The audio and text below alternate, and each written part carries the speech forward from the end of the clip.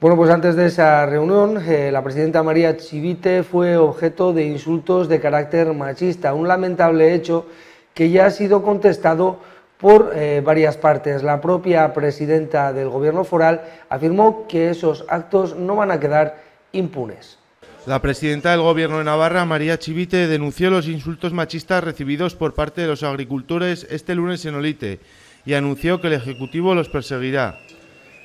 De hecho, la Policía Foral está investigando e identificando ya a los autores de la agresión verbal.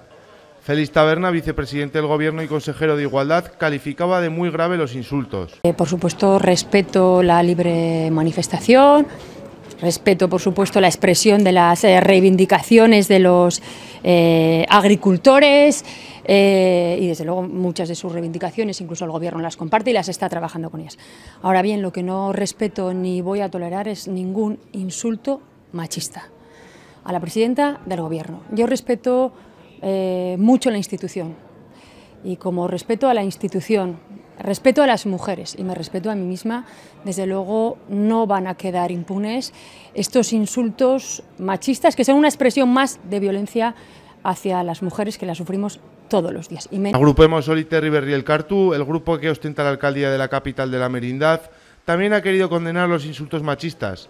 La formación entiende las legítimas reivindicaciones de los agricultores, pero subraya que no se puede mezclar con la agresión machista a Chivite a la entrada al parador de una, localidad siempre respetuosa y acogedora. Incluso la plataforma 6F se ha desmarcado de quienes calificaron de puta Chivite. Consideran que este episodio no tiene nada que ver con la manera de actuar del movimiento. Desde la plataforma 6F remarcaron que mientras unos estaban insultando en Olite, otros agricultores y ganaderos estaban distribuyendo un texto en Pamplona en el que informaban a la ciudadanía del motivo de sus protestas y pedían disculpas por las molestias ocasionadas por las tractoradas.